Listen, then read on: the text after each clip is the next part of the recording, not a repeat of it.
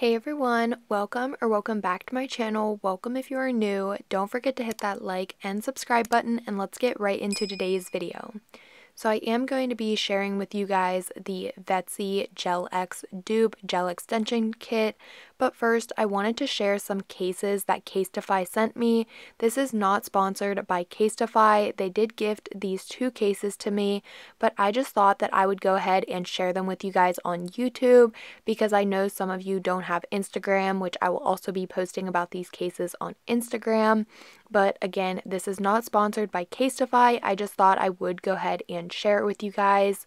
So recently on December 1st, Casetify did drop their latest collaboration, the Tim Burton's Disney cult classic, The Nightmare Before Christmas. I was super, super excited when they reached out to me and asked if I wanted to pick out two cases from this collection because I just think this whole theme is so cool. Just look at these boxes, the little insert card with Jack Skellington. I just think this is the cutest collaboration ever and I love these cases so much. Another reason why I did want to go ahead and share them with you guys. That way you could just have an overlook of the cases and if you do decide to pick something up, you can decide to do that. So like I said, Casetify was kind enough. They reached out to me, asked if I wanted to pick out two cases and of course I accepted because when I saw like the pictures of them, I was in love and so obsessed with them. So this is the first case I picked out, but one thing I do quickly want to mention, I want to give a big thank you to Casetify for sending these over to me. This is just so exciting and with my new iPhone 13 Pro Max, it is just a nice thing to grow my case collection because you know, it's always fun to switch out your phone cases, have something different, and with the quality of these Casetify cases, it is just so amazing. Another thing that I really like about them is this case here that I'm actually showing you is made from 50% recycled material. It is also a MagSafe um, case, so that is nice. And overall, the quality, the design, it is just amazing. I know I keep saying that, but just look at this case. I think it looks so good. I do currently have it on my phone right now, and I can just tell the quality is so good versus like a cheap little case you can get from Five Below or something like that. Those cases are always fun, but if you do have a expensive phone such as an iPhone, you do want to make sure you get a case that will protect your phone. And with the Casetify ones, you can like get super protective ones that have like bumpers on them. That way, if you drop your phone, it doesn't like break or anything like that. And just the quality, like I was bending it, holding my phone in my hand now, I just feel like it is so such like a very good quality. So this is the second case I picked out and quickly I want to talk about the packaging. I love how it looks like a little casket and then like the little teal and then you just pull the phone case out and it is just so nice. It was like a little Christmas present from Casetify. But this one here is actually a mirrored phone case, which I really like, even though it was a little bit hard to show on camera. It is also a customizable phone case, so you can see that I have my name and my boyfriend's name down there, and then it has the little heart with Jack Skellington and Sally, and then you can also use the phone case as a mirror, which I think is super cool. Like if you're out and about and you just need to look at yourself quickly or something, you can just flip your phone around and you have a mirror right there and is with you everywhere you go as long as you are taking your phone. And this phone case here is also MagSafe as well. And I'm pretty sure that has something to do with like wireless charging. Um, I'm not 100% sure about that, but that little symbol on the inside indicates that it's MagSafe. So I am using my boyfriend's phone to record here and he did recently drop his phone and it does have a crack and I think it kind of affected the camera quality. So I do apologize for that, but I did want to show you guys the phone case on my phone. I am easily able to press the buttons. I'm able to flip the little like notification switch, turn up my volume, turn it down. It fits nicely around the camera and overall just fits very nicely. So I will be leaving the link down below to the Casetify website. I do not have a discount code just because these products were just gifted to me and I just thought I would share them with you guys. But if you do want to check them out, you can. They sell tons of different sizes of phone case. They do not only sell iPhone cases, they sell Samsung and everything like that. They also sell cases for like AirPods, MacBooks, and iPads as well. Just a bunch of different things on their website. They have so many different designs, and I'm sure you will find something if you take a look. So now let's go ahead and jump to the Vettsy Gel Tips Starter Kit. They did send this over to me as PR, so I do want to give a big thank you to Vettsy. Recently, I've been loving trying all of these new gel tip kits, gel extension kits, gel X dupes.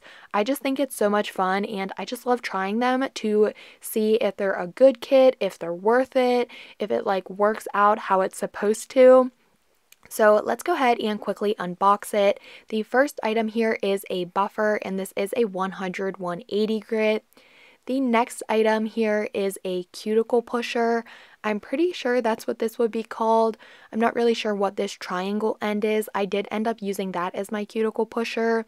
I think that's what this is. If it is not, let me know in the comment section below, but that's what I thought it was. The next item here is actually a like nail tip cutter and this one was super super cool. I do not have one of these yet and I've wanted one. I've also seen like a little TikTok nail hack where you can use magnets just to make sure that your nail tips are all the same size, which I struggle with so much. That's why I like using like full cover tips and just like not even clipping the length down. That way I don't have to worry about making them or making sure they're all the same size.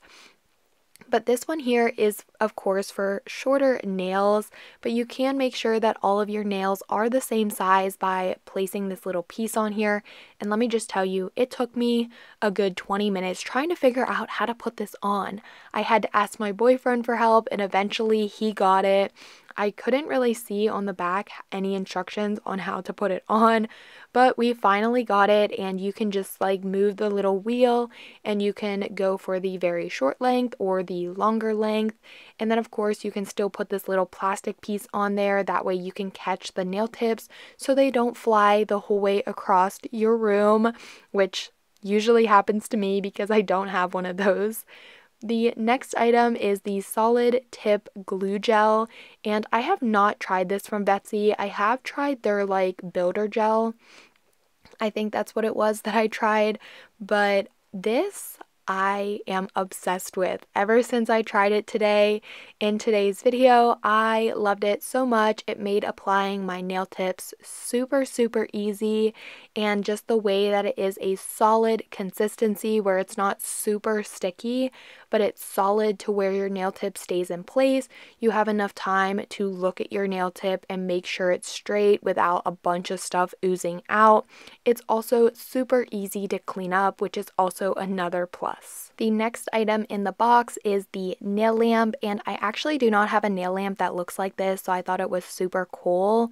Most of the times in most of these like gel kits, you get kind of like the same usual nail lamp, but this one here is kind of like a rose open on both ends and I really liked it. Another thing, it is a 16 watt nail lamp, so it is a pretty like powerful nail lamp even though you still want to make sure you go into your larger nail lamp to do your full cure. This is basically just for flash cures but you do get the user manual.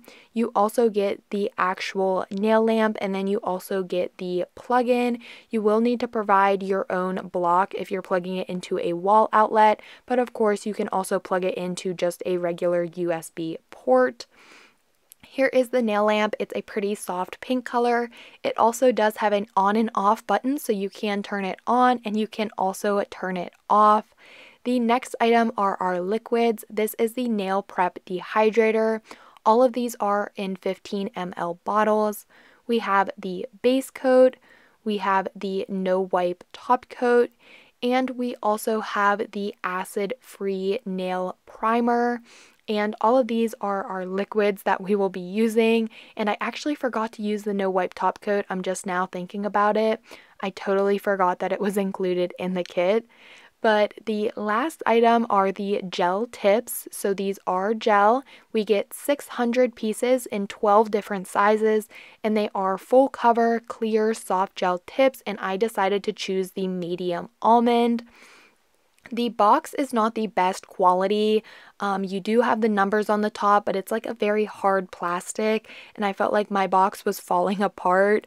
I feel like it's one of those boxes where if you drop it, it's to break and your nail tips are going to go everywhere. But, anyways, here are the nail tips, a very nice almond shape. They are not medium almond, in my opinion. I feel like they're more of a shorter almond, but still, they are very good quality nail tips. And of course, I will be using these ones in today's nail set. So here is just everything that is included in this kit. They do have a couple different sizes and lengths on their website.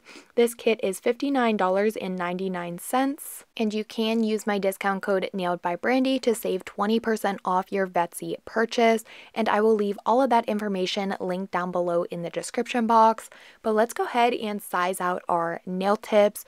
When I was sizing out my nail tips, I did just quickly want to show this, even though I didn't show it very well. But I wanted to mention during this part that I kind of felt like these nail tips were on the smaller like size. If you have larger nail beds, I feel like you should not go with this specific type of nail tips. For some reason, with almond nail tips, I always feel like they tend to run smaller than like coffin or square. And I feel like overall that's just because the shape of the nail tip is smaller. It kind of goes in on the sides, creating that perfect almond shape. So if you are wanting to try out this nail kit and you do have larger nail beds, I would recommend trying to go with another like nail shape just so you don't hopefully you don't run into the problem of not having having sizes that fit your nail beds. I went ahead and put my UV LED nail glove on just because I want to protect my skin a little bit more than I have been. So I went ahead put that on. I'm then using this little triangle thing which I assume is a cuticle pusher. It worked really well for me. If it's not a cuticle pusher, let me know in the comment section, like I said, but it worked really good for me to be able to push back my cuticles. So I went ahead and used that. Another little extra step that I like to do to help get up the dead cuticle from my nail plate is taking my e-file with a cuticle ball bit and just going around and cleaning up the cuticle area. This really helps remove any of that dead cuticle on your nail plate. You can also use it around your skin and that just helps a lot to remove the cuticle. After that, I am just taking a hand file and using the finer grit side to remove the shine from my nail tips. You can also do this using a sanding band and your e-file, but I just gently wanted to do it with a hand file. After that, I went ahead and made sure all of the dust was removed, and I'm taking the Vettsy Nail Dehydrator and applying that to all of the nails. This will dehydrate your nails and allow your manicures to last a lot longer. If you are struggling with lifting, make sure you are using a primer. If you tend to struggle a lot with your manicures lifting, I recommend trying to use two coats of the primer because that can really help a lot and prime your nail beds and just allow your manicures to last a lot longer. After the primer has air dried, I'm now taking that Vettsy base coat and I'm applying this a thin even coat of this to all of the nails and then I will be curing in my larger nail lamp for a full 30 second cure. I also went in with my peel off base coat just because I am a content creator. I'm not going to be keeping these nails on, but of course, if you want to keep them on, just go ahead and skip the peel off base coat step and do not apply that to your nails. But because I am popping this nail set off once I'm finished with the video and taking my photos, I just go in with a peel off base coat. That way it's a lot easier for me to remove them. I did go ahead and size out my nail tips off camera. Like I said, I felt like they were a little bit small, but of course my nail beds aren't super large, so I was able to make it work. You do want to etch the inside of your nail tips. Either you chemically etch it or you go in with a sanding band and etch it. But if you want to make them last, that can be a huge, huge step where it will help tremendously. I did not do that just because I'm not going to be keeping these nails on, but I would totally recommend it. Now it is time to apply our nail tips, so I pulled out that solid glue gel, also plugged in the nail lamp, and I just pulled out a small ball of the glue gel and placed it into the nail tip. I found it a little bit difficult to use my gloves when pressing it down, so I decided to pick up this little tool here and help to smooth it and press it down. When you are using this product, it is recommended that you do not touch it with your bare skin. So if you do want to touch it, make sure you do put on some gloves just because it is a gel product and most of the times you can pick up an allergy when you do touch uncured gel. So it is always best to try and avoid it at any cause. So yes, definitely use a tool or put on a pair of gloves when you are touching and using this product. So I went ahead and just smoothed out the product inside the nail tip and I kind of just like focused it on the area where I kind of like estimated where it was going to be placed on my natural nail. And I felt like helping it, like spreading it out and doing that really helped a lot with like just placing it down and being able to cure right away. I just found it very easy to do and I just I don't really know much to say other than I truly really loved this product. I do know that you can just purchase this on the Vettsy website. So if you are just wanting to purchase this product individually instead of purchasing the whole kit, I would totally recommend you do so. This is such an easy product to use, and I will be leaving it linked down in the description box below. But you just take out like a little glob of it, you put it into the nail tip. I found it easier to kind of like spread it out a little bit and then lowering it onto my nail, just like I'm putting on a press on, and then it like stays in place. Also, I felt like I didn't have much squeezing out. I also felt like no, I didn't get any air bubbles at all. When I am using like a liquid gel, like a 4-in-1 base gel or just a thicker base gel consistency, I do tend to get a lot of spillage. It's super hard to clean it up while trying to hold the nail tip in place, and I do tend to get a lot more bubbles than with using this product you can see that I'm able to pick up my nail and not have to hold it in place, which I really loved about this product. So I went ahead, applied all of the nails. I did a quick flash cure to each of them. Then once they were all applied, I went ahead and did a full cure for 30 seconds in my nail lamp. I'm now just going to do a little bit of cleanup and filing to these nails. Starting off with my hand file, I crisp up the almond shape and then coming back with my e-file and that cuticle ball bit, keeping my drill on a speed of a, a low speed of around 4000 RPM. I'm just going to be taking this around the cuticle to clean up any of the product that may have spilled and also to seal in the cuticle. If you do not do this step and your nails are looking like press-ons and you do want to avoid that, I recommend trying this. Even if you don't have an e-file, you can take a hand file and just file gently around your cuticle area and it can help a lot making your nails look a bit more high quality, salon quality versus giving off that press-on look. I also am taking that buffer that was included in the kit and buffing the surface of the nail. That way I can remove the shine and it will make the nails last like the polish or whatever you apply to the tops of them instead of it just peeling off from the shiny surface. I went ahead, did that, repeated those steps to all of the other nails, and brushed away the nail dust. And here are how the nails are looking. So before you begin your gel polish application, I would recommend applying a base coat to your nails because that will help a lot with keeping a clean application and not getting a lot of streaks when you're using your gel polish. But I did just go ahead and skip that step today because I don't know, I was kind of feeling lazy and I didn't really want to do it. So I am jumping right in to doing my nail set and I'm starting off with using a Charme gel. Actually, I believe all of the colors I used as gel polish today are all Charme gels. Recently, I have become addicted to Charme gels. They are such a very good high quality gel. I really love the consistency. They are super pigmented and most of the times when you have a super pigmented gel, it's it's like a very thick, hard to apply consistency. But with these gels, I think that the consistency is absolutely perfect where it's still super pigmented, but it's not too thick, it's not too thin. It's just very easy, super smooth to apply.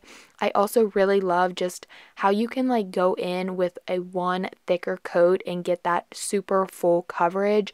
But I personally do like to go in with two thin coats. That way I can build it up without feeling like it hasn't cured fully. That is just a personal preference, but I do really love these Charme gels and they are just my top favorite at the moment. If you do want to pick anything up from Daily Charme, you can go ahead and check out the description box. I will leave my link down below. I also do have a discount code, and that discount code is nailed by Brandi, and you can use that code to save 10% off your Daily Charme purchase.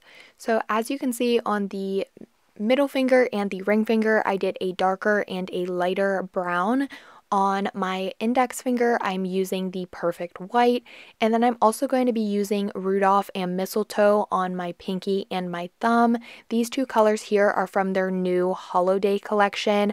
I did do a video on that. If you have not yet watched that video, I will leave it linked up in the cards, so make sure you go check that video out. They did recently release five new twinkle gel colors and these are just so beautiful. Perfect for the holiday season and the twinkle and reflectiveness is just so stunning. Each of the gel base colors I did go in with two coats curing for 30 seconds in between each coat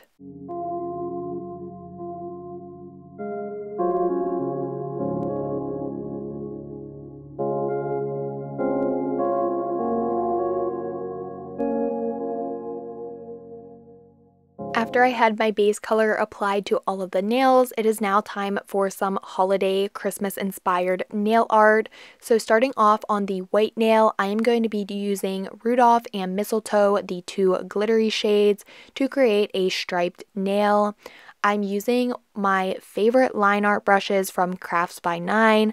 I will be linking these down in the description box below. I feel like I definitely need to add them to frequently used products because I am constantly using these brushes and I just I feel like I tend to forget to link them just because it's not always on the top of my mind. So I will try to remember to add these to frequently used products just because I do really love the quality of these art line art brushes and I am always using them. So for this nail, like I said, I am just going to be doing a striped nail. Using the red glitter shade, I'm doing a thicker line, and then using the green glitter shade, I'm doing a thinner line. And I just really liked how this nail turned out. It was a little bit difficult, and I think the reason it was just because I was working on a smaller nail, so it was a little bit harder than working on a long a longer, larger nail, but I do still really like how it turned out. Throughout doing some of the lines, I did do a quick little flash cure, but once I was all finished, I went ahead and cured for 30 seconds in the larger nail lamp. I'm going to go ahead and let the rest play out, but I really hope that you guys are enjoying the video. If you are, please make sure you subscribe to my channel, hit the like button, and also if you're feeling generous, leave a comment below.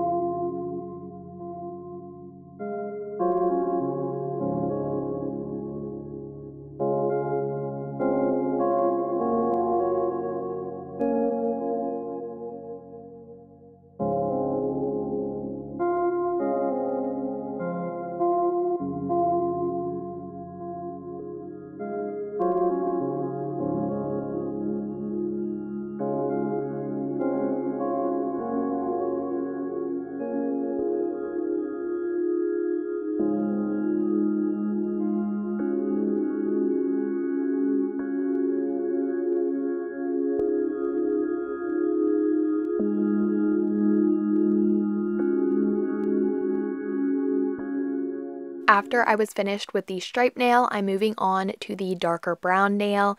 And if you didn't already tell by the thumbnail or the title of the video, I am going to be doing a gingerbread inspired nail set. And I just thought this was so cute. I showed my boyfriend in the end once I was finished, and he told me it was giving him Starbucks vibes. And I totally agree with him. Keep on watching to see the end result and comment below a coffee emoji if you also think it, it's giving Starbucks Starbucks vibes. But I'm now just going to be doing a gingerbread house or like yeah, I would call this a house, right? Drawing on a little door with a little window and some icicles, you know, the basic little gingerbread themed manicure. So I started off with the white and I drew on the door. I went ahead, cured that for 30 seconds. Now I'm taking that white glittery shade and drawing on some very tiny lines on the white to just give it a candy cane door look to it. I go ahead and cure that in the nail lamp and then I take the green glitter shade and make a little heart outline that in white. I add on some icicles just for a nice like icy look and I also thought it went very well. Kind of like reminded me of like a gingerbread cookie with some icing drips. It just looked too cute. And then I also went in with a little dot on the door for a doorknob. I feel like there really isn't much to explain with this. You kind of just follow along with the process. And also I felt like it is pretty beginner friendly to do everything.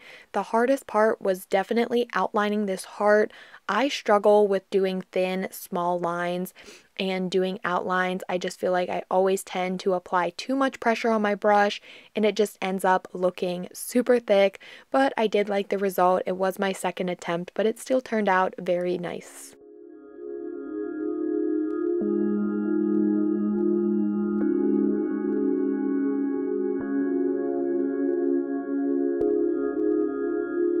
Once I was finished with the gingerbread house nail, moving on to the lighter brown nail, of course we are going to draw a little peekaboo gingerbread man.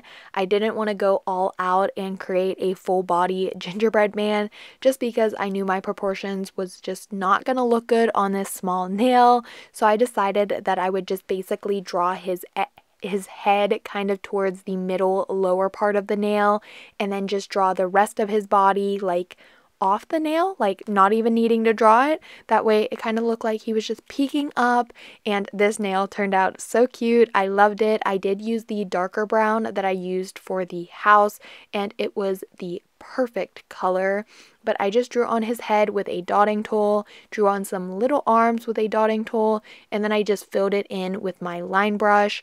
I went ahead, cured that for 30 seconds, and then I'm taking my white to draw on his eyes, his smile. To pull him all together, I decided to go with a little like green bow tie, and then also I'm going to be taking the red glitter and a dotting tool to give him some little buttons. I cured that and then taking the white gel, I went ahead and drew on a four pointed star and also just some dots to fill in the emptiness of the nail and just kind of bring everything together.